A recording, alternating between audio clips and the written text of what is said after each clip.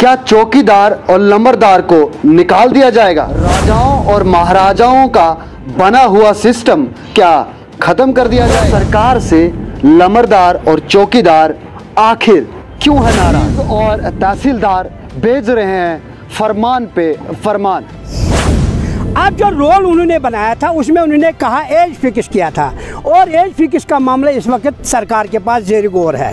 High court में भी है और सरकार के पास भी है। बदकिस्मती की बात है पिछले एक हफ़्ते से हमारे डीसी साहिबान तहसीलदार साहिबान गाँव गाँव में नोटिस भेजते हैं कि भाई हमें नंबरदार और चौकीदार आज से नौ तैनात करने हैं।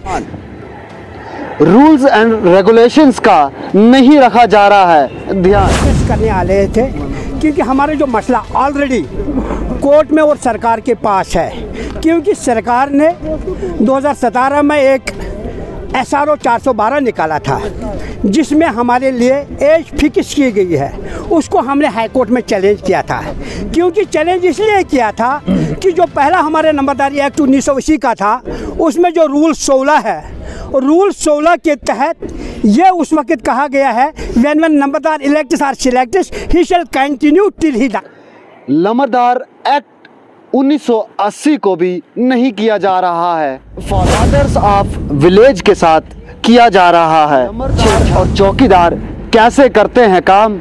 आप है उससे जानकार हमारे नंबरदार और चौकीदार अपने अपने गाँव में काम करते हैं। अगर इनको और लगाने हैं तो हमें कोई एतराज़ नहीं है। मगर अगर हम काम करते हैं या तो हमें डिसमिस करो डिसंगेज करो कोई तौर तरीके है या कोई तरीका नहीं करते। हैं या कोई अगर हमारा लंबादार चोर है कोई ग्रेबिंग की है कोई बात हो या बूढ़े हो उसको अगर निकालेंगे तो अलग बात है। मगर लमरदार और चौकीदार आज हैं सड़कों पर और मांग रहे हैं अपना अधिकार। क्यों है मौजूदा सरकार लमरदार और चौकीदार से परेशान? एक महीने से है लमरदार और चौकीदार हड़तालों पर। सरकार को दे रहे हैं चेतावनी कि अब हो जाओ तैयार।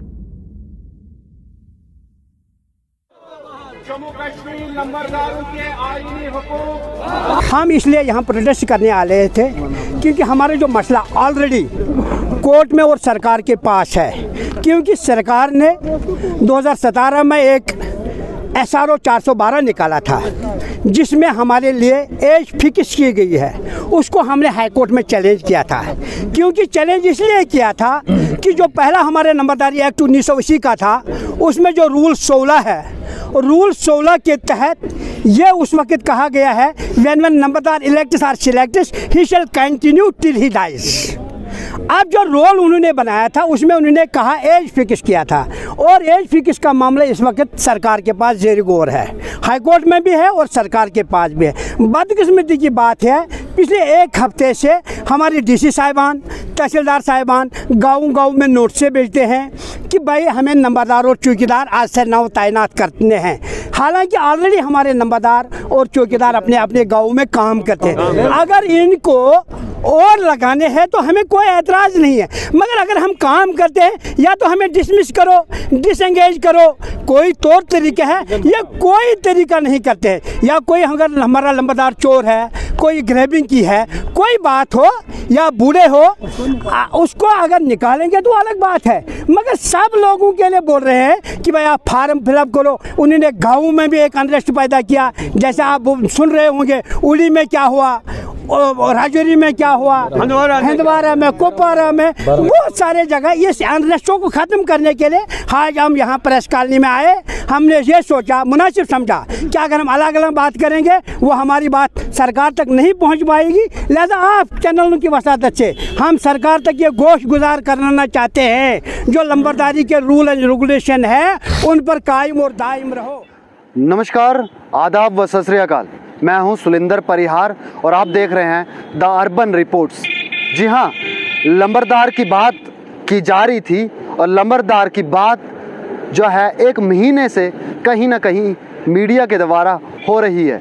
लेकिन तफसील से बातचीत करेंगे आज लंबरदार और चौकीदार के ऊपर।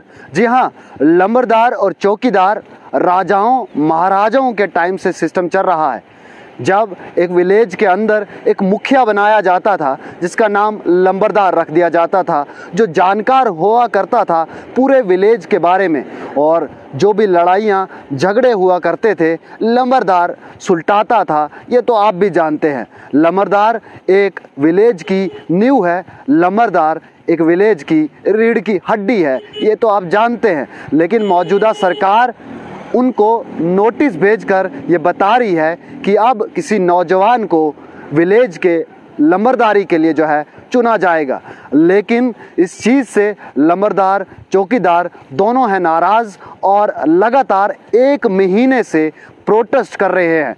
काम हड़ताल पर हैं और हड़ताल से मांग कर रहे हैं कि हमारे हक, हकूक जो हैं, जो हमारे रूल्स एंड रेगुलेशंस हैं, उनके साथ कोई छेड़छाड़ नहीं किया जाना चाहिए। और छेड़छाड़ होगा तो सभी चौकीदार और लंबरदार जम्मू के प्रेस क्लब के बाहर और श्रीनगर के प्रेस क्लब के बाहर इकट्ठा हो जाएँगे और जो है फिर सरकार को फेस करना पड़ेगा चौकीदार और लमरदार का वो प्रोटेस्ट उन्होंने ये भी बताया कि गलियाँ भर जाएँगी, चौबारे जितने भी हैं सिटी के वो भर जाएँगे। लंबरदार क्योंकि इतने हैं, क्योंकि आप भी जानते हैं कितने सारे विलेजेस जो है हमारे जम्मू कश्मीर के अंदर हैं और लंबरदार भी वहाँ पर है और वो भी राजाओं, महाराजाओं के टाइम का सिस्टम से बने हुए लमरदार हैं रूल्स एंड रेगुलेशंस के बने हुए लमरदार हैं और जो पंचायत आपको मैं बता दूँ लंबरदार को लेकर एक एक्ट भी बनाया हुआ है। नाइन 1990 का जो एक्ट बना हुआ है लंबरदार एक्ट 1990 उसके तहत जो भी आ, लंबरदार का प्रोसीजर है बनाने का। वोटिंग होकर जो है लंबरदार को चुना जाता है। वो सिस्टम के साथ ही लंबरदार अगर कोई नया बनाना है तो आपको उसी सिस्टम के साथ बनाना पड़ेगा। नया लॉ नहीं ला सकते। नया ऑर्डर जो है, वो आप नहीं ला सकते। इन्हीं सब चीज़ों को लेकर कई लंबरदारों ने मीडिया के साथ बातचीत करते हुए भी कहा कि हमारे हकों के साथ जो है छेड़छाड़ नहीं होना चाहिए। हमारा जो प्रोसीजर है, हमारे जो इलेक्ट करने का प्रोसीजर है, वो जो है, उनके साथ जो है, कोई सरकार छेड़छाड़ ना करे। सरकार जो है, आज की सरकार न जाने क्यों लंबरदार और चौकीदार को जो है, पोस्ट से निकालना चाहती है। उन्होंने ये भी बताया कि प्रधानमंत्री अगर सत्तर साल का जो है, बन सकता है, पीएम बन सकता है, एमपी बन सकता है, एमएलए बन सकता है, बीडीसी बन सकता है, डीडीसी बन सकता है तो लमरदार के साथ आखिर ये छेड़छाड़ क्यों? अगर हमारे देश के प्रधानमंत्री सत्तर, इकहत्तर, बहत्तर साल के हो सकते हैं तो हमारे लंबरदार सत्तर साल के क्यों नहीं? ये सवाल लगातार लंबरदार के यूनियन जो है उठा रही हैं और लंबरदार के जो एक एसोसिएशन है जम्मू कश्मीर, लंबरदार एसोसिएशन वो लगातार जो है प्रोटेस्ट पे है। श्रीनगर के अंदर, जम्मू के अंदर भी प्रोटेस्ट पे है। हाजी बशीर अहमद वो जो है लगातार मीडिया को संबोधित करते हुए प्रेस कॉन्फ्रेंसेस दे रहे हैं और इसमें ये बता रहे हैं कि बिल्कुल भी छेड़छाड़ नहीं किया जाना चाहिए और इन सब चीज़ों को लेकर उन्होंने जो है कोर्ट में भी जो है पटिशन डाली है और उन्होंने ये भी कहा कि यहाँ की सरकार को, एडमिनिस्ट्रेशन को रुकना चाहिए कि क्या कुछ जो है कोर्ट किसके धड़े में आकर फैसला देता है, क्या कुछ फैसला देता है, उसके बाद जो है वो अपनी कार्रवाई जो है करें। लेकिन अभी तक सरकार जो है इस चीज़ के ऊपर लगी हुई है। उन्होंने कहा कि विदाउट नोटिस जो है बताया जा रहा है कि लंबरदार को निकाल दिया जाएगा नए लंबरदार को जो है इलेक्ट किया जाएगा, जिसकी एज तीस तक की होगी। यानी कि वो युवा होगा। और इसमें यह भी पूछा जा रहा है कि क्या एक युवा को पता है अपने गाँव के बारे में? क्या एक युवा जानता है कि अपने गाँव के बारे में? क्या वो जानकार है? उसको पता है? बहुत सारों ने ये भी कहा लंबरदार्स ने, उन्होंने ये कहा कि एक युवा तो अभी जो है बाहर सिटीज़ में घूमता है। अपने गाँव के बारे में, उसके अपने घर के बारे में अच्छे से जानकारी नहीं होती। पूरे गाँव के बारे में क्या खाक जानकारी होगी? तो कहीं ना कहीं ये बड़े सवाल जो है सरकार से जो है पूछते हुए और सरकार के ऊपर कहीं ना कहीं हमारे माध्यम से जो है तंज कस रहे हैं कि किस तरीके से आप जो है लंबरदार के साथ जो है उनको निकाला जा रहा है और नए लंबरदारों को जो है आप लगा रहे हैं। एक लंबरदार ने मीडिया के साथ बातचीत करते हुए ये बताया कि दिसंबर 12 दिसंबर 2022 को एक ऑर्डर निकाला जाता है वैकेंसीज़ को लेकर कि जहाँ जहाँ पर, जिन जिन विलेज में, जिन पंचायत में वैकेंसीज़ हैं लमर, लमरदार की, चौकीदार की, वहाँ पर जो है फिलअप किया जाए। तो उस ऑर्डर का जो है, उन्होंने कहा कि उस ऑर्डर का बिल्कुल सही है, लेकिन उसके अंदर भी वैकेंसी जो निकाली गई है, उसमें भी अगर नए तरीके से लमरदार को आपने लगाना है, नए लमरदार को किसी पुराने लमरदार की जगह पर लगाना है तो आपको जो है रूल्स एंड रेगुलेशंस के अंडर जो है, लगाना पड़ेगा। और कहीं ना कहीं ये भी बताया गया है कि चक्की जो है, चल रही थी, लेकिन उसमें कहीं ना कहीं सरकार जो है, बट्टा डालने का काम कर रही है, यानी कि पत्थर डालने का काम कर रही है, उस चक्की को रोकने का काम कर रही है। जिसकी वजह से कहीं ना कहीं बहुत सारी जगहों पर जो है, सभी लमरदार जो है, एक महीने से लगातार जो है, वो प्रोटेस्ट पे हैं और प्रोटेस्ट पे रहकर अपनी मांगों की जो है बात कर रहे हैं।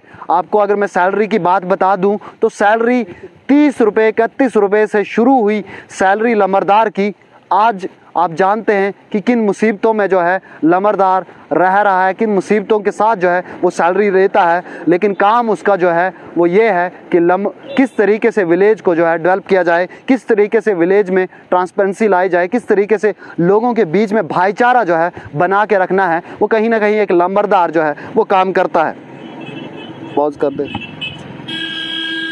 बड़ा बोलो आपकी क्या राय है? आप अपनी राय जो है कमेंट बॉक्स में रख सकते हैं। आप भी अपनी राय दीजिए। अगर आप जानते हैं किसी लमरदार को कि वो कैसे काम करता है, आपके घर से ही अगर कोई लमरदार है तो ज़रूर कमेंट बॉक्स में राय दीजिएगा। और अगर कोई लमरदार इस वीडियो कोई चौकीदार इस वीडियो को देख रहा है तो वो भी अपनी राय ज़रूर इस कमेंट बॉक्स में रख सकता है। और उसके साथ ही मैं मैं किसी भी लमरदार और चौकीदार को अगर हमारे साथ बातचीत करने के लिए वो आना चाहते हैं, उनको मंच चाहिए तो मैं उनको आमंत्रित करता हूँ। हमारे कॉन्टैक्ट नंबर जो है, हमेशा वायरल है, हमारे कॉन्टैक्ट नंबर हमेशा हर जगह पर हैं। कॉन्टैक्ट नंबर पे आप हमारे जो है, आप सामने भी देख पा रहे हैं। इस कॉन्टैक्ट नंबर पे आप कॉन्टैक्ट करें और हमारे साथ जुड़ें और अपनी बात the local report the urban report के मंच से जो है, सरकार तक पहुँचाए। जी हाँ दीजिए सुलिंदर परिहार को इजाज़त और देखते रहें द अर्बन रिपोर्ट्स फिर मिलेंगे।